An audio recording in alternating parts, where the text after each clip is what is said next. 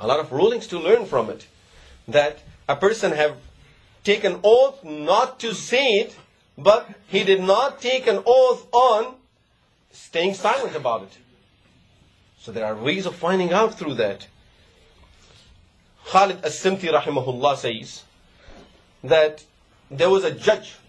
Khalid as-Simti was a muhaddis of his time, but he used, he was one of the 40 people in that committee that Imam Abu Hanifa rahimahullah formed.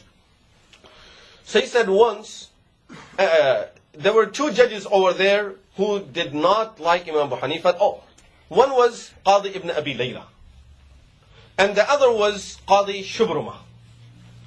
Once Qadi ibn Abi Layla was going somewhere and he said, I was with Imam Abu Hanifa rahimahullah, we were also going for a walk. There were some people there who were in the park and there were some women singing. So when they passed by those women, the women saw that it's the Qadi, it's the judge, and this is Abu Hanifa, two great people are coming. So at least this much haya was there in those days. Then they stopped singing. Now, as they got close to them, Imam Abu Hanifa rahimahullah said, that was very nice. And they went. Qadi ibn Abi Layla asked someone to file a case where he would say, Imam Abu Hanifa is the witness. Imam Abu Hanifa will be my witness. And I will call him to the court. I want to talk to him about it.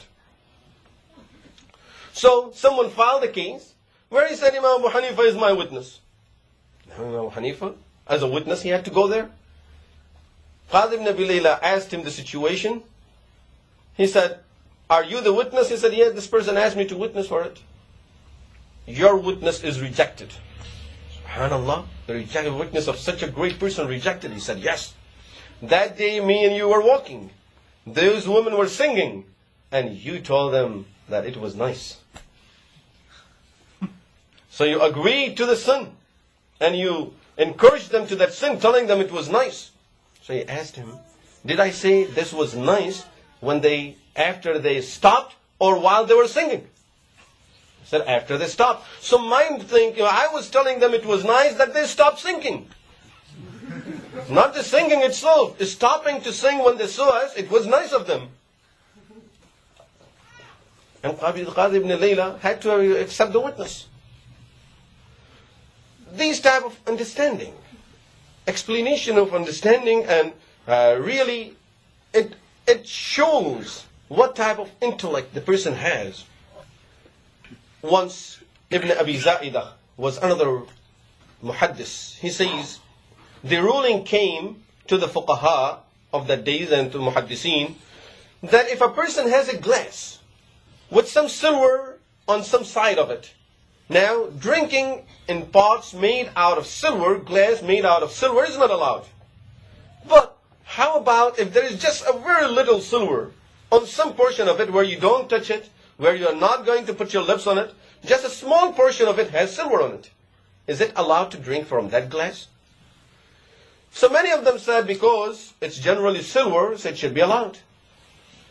Imam Hanifa rahimahullah's fatwa was, uh, it, it's not allowed, uh, general ruling was, it's not allowed. Imam Hanifa rahimahullah gave the fatwa that this was allowed. They asked him, where did you get this from? He said, from a hadith. There is no hadith about this. But I heard it. How can you hear a hadith that all the muhaddiseen don't know about? He says, do you know that it says in the hadith Rasulullah sallallahu alayhi wasallam used to wear a ring made out of silver? Yes. And then it says in the hadith that Rasulullah sallallahu alaihi wasallam drank the water.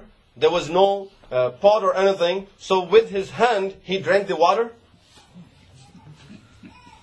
Yes, that is there. So ring is in his hand, and he's drinking water using his hand as a pot. So small portion of a glass has that small uh, silver on it. Subhanallah. See the understanding. Where a person would ever think about it. That that hadith refers to this ruling.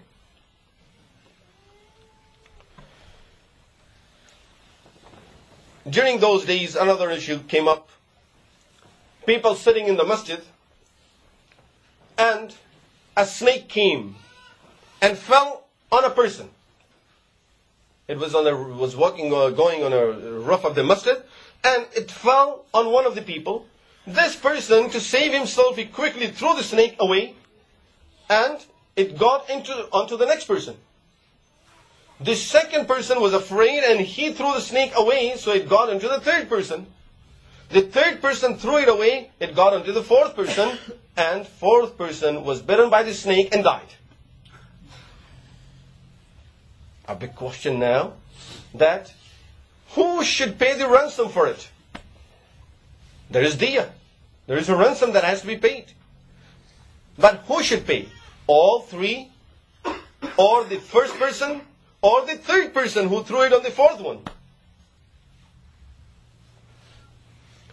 And discussion started amongst the fuqaha, amongst the muhaddiseen, among the scholars. Some of them are saying the fourth, the third person because he's the one who threw it on the fourth. Some of them are saying that the first person because he started it. Some of them are saying that all three were part of it, so all three should do it. But what is the reason? Tell us some solid proof. None.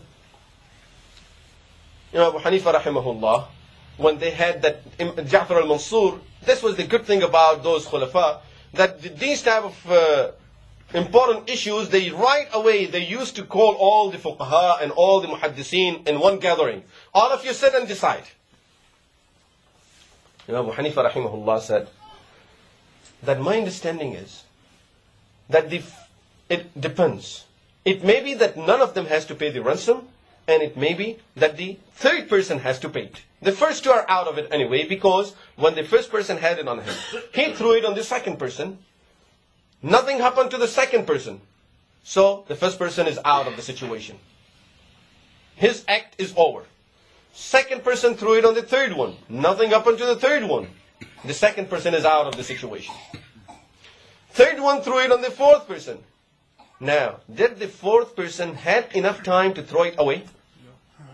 If he did, if he did, then the third person is not responsible because that person was negligent. And he did not take care of it himself. He let it be there until that snake did what it had to do. And if the third person did not get the chance, and people are saying really, I mean, it was right away, then the third person will have to pay the ransom for it. All the fuqaha and muhaddiseen agreed about it. And it became the rule. Qadi ibn Abi Layla gave the issue the ruling in the court about it. So it was the rule that was issued. These type of situations that tell us that the understanding that when we talk about fiqh, what is fiqh? This will tell us what is fiqh. This is the reason I'm mentioning these examples. So we understand, because many times when we say fiqh, fiqh, fiqh, we don't know what is fiqh. We don't know what is understanding. One thing that if a person will say that interest is halal, he's faqih. That is the fiqh. That something haram, make it halal. But this is the understanding. This is what shows that these people really studied it. They are having a deep look at the ayahs of the Quran and the hadith of Rasulullah sallallahu alayhi wasallam and through their taqwa, through their devotion to this knowledge, through their practice of this deen of Allah subhanahu wa ta'ala, Allah subhanahu wa ta'ala blessed them with that type of understanding. And it wasn't only him. There were other people who had it. We are only talking about him at this time. But uh, it was an extremely deep understanding. For example, similar type of situation happened in the time of Imam Bukhari rahimahullah, where a question came, is the hair of a human being najis or tahir? Is it clean or najis? And of course, there was discussion about it. Imam Bukhari rahimahullah answered that in his book Sahih al-Bukhari. But if I tell you today, go back and use all of your computer softwares that you can find and use whatever understanding you have of it and any book you can find about it to find that answer, you will not be able to find the answer in Sahih al-Bukhari. I'm guaranteeing you that. You won't be able to find it, whereas the answer is in Sahih al-Bukhari. Imam Bukhari has given the answer. Where?